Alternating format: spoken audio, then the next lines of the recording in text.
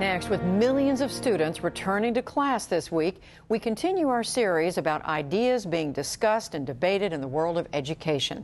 Tonight, we turn to the role of universities and explore a question getting plenty of attention amid concerns about student debt. What is the real purpose of college? Jeffrey Brown has our conversation.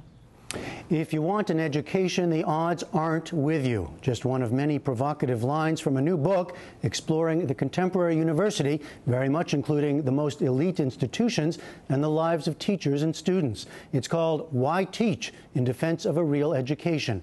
Author Mark Edmundson is a professor of English at the University of Virginia, and he joins us now. And welcome to you. Thank you so much. So, first, what is a real education and why does it need defending?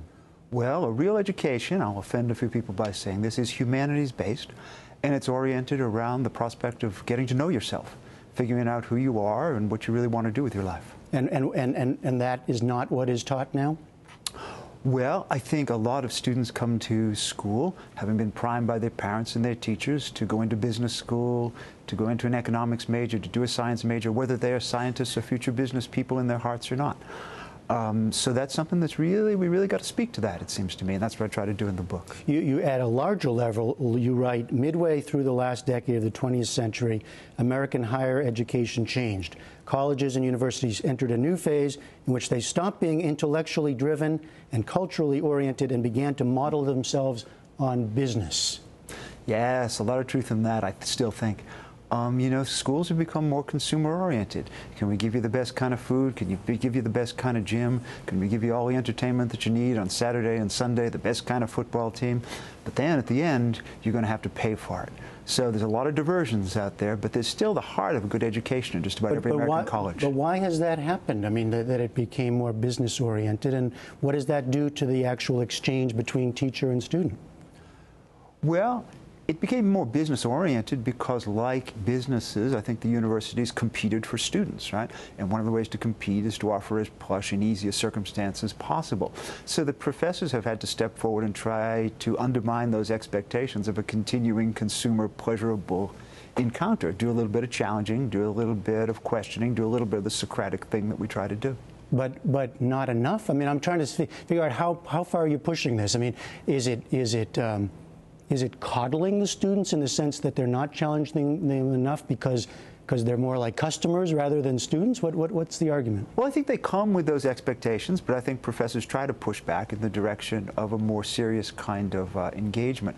One of the things that we're doing, it seems to me, is that we're teaching students very well how to read and interpret demanding and interesting texts, but we're not going far enough in asking them this critical question. Is this true? How would you apply it to your life? How would you live it out?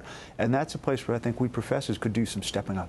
We talk a lot about the, a crisis in the humanities. You seem to refer, you seem to think of a crisis within the humanities, that it's that the humanities are being sold the wrong way, if that's the right word, as ways to help you get a job or to, to help you, uh, I don't know, do better in life mm -hmm. rather than something else. Right. Well, I think that, you know, the humanities can help you to do better in life. You can learn to read well, write well, think well, present yourself in an appealing sort of way. But I think that fundamentally we're not about success. What we're about is challenging and examining every single kind of socially accredited standard out there.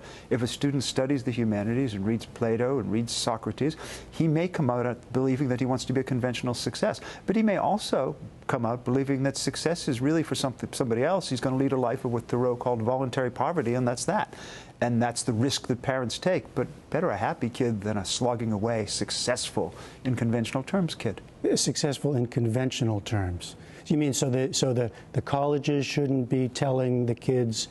I mean, what do you tell the what you want to attract kids to your class, right? Sure but not to say this might help you become a lawyer or a doctor or, a, or, an engineer? What I'm more likely to say is this will help you decide whether you want to become a lawyer, a doctor, or an engineer.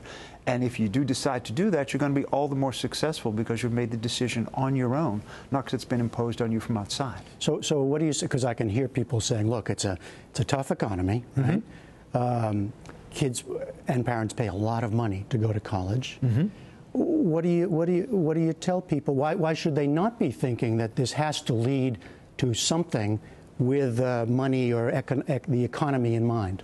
Uh huh. Well, you know, if you look at people's professional lives and you ask them why do they fail, right? Frequently they fail because they are a round peg trying to slam themselves into a square hole of a profession that they really do not love and are not committed to, right? So that if a student learns what it is he or she really values and wants to do, the chances of success are much better. And that's something we provide in the humanities that others don't. But the thing to add is that you know students may in the humanities look into this idea of success and say, no, not for me. I mean, I have a son who lives in Austin, Texas, works in a bike shop, and is writing a novel. I'm tremendously proud of him. He looked into the success thing, and so far, what he's saying is not for me. but you're probably going to hear from people, oh, this is the privilege of the well off uh-huh. to be able to have that kind of. Uh, I don't know, four years of, uh, of thinking and of, as you used the word from uh, John Keats, soul making, uh-huh. right? Uh-huh. I would like it to be a privilege that everybody had access to, right? And that, you know, when we say, we can't afford that. You know, we can afford two and a half million people in jail. We can afford armies that can fight three wars at the same time. We can afford rich people who pay 15 to 0 percent of their taxes, but we can't afford to give everybody a chance at the humanities. I'd rather open it up for everybody. So, what do you tell? You, you, you refer at, at one point to the astonishing opportunities at colleges. I mean, for all the kind of tough things you have to say, you talk yeah. about the wonders of our universities. Yeah. What's the advice? How, how should a student take those, particularly those starting maybe right today, right, or this week? Yeah. How should they take advantage of that? You got to look around for the teacher who's going to be great for you. You know, there is this period that they call shopping period, probably not the best name, but you go from class to class, from yeah. professor to professor, and you see, you look around for somebody who really lights it up for you. You're looking for somebody with a keen mind, love of learning, and a warm heart. And you get those things together in the same person, and you found somebody who might actually be able to teach you something, and maybe you'll teach him something too. And what about for those in your profession? What's the answer to your question here? Why teach? You know, it's a little bit of a mystery. There's something just plain wonderful about watching people develop. And the ages between 18 and 22 are among the very best for that. People come and they're very unformed and they read and they think and they spend time with their friends and they grow at this astronomical rate. And it's just wonderful to be around and see it happen. All right, you know what? We're going to continue this conversation online. I want to ask you about your own experience to becoming a professor. But for now, Mark Edmundson, the new book is Why Teach in Defense of a Real Education. Thanks so much. My pleasure. Thank you.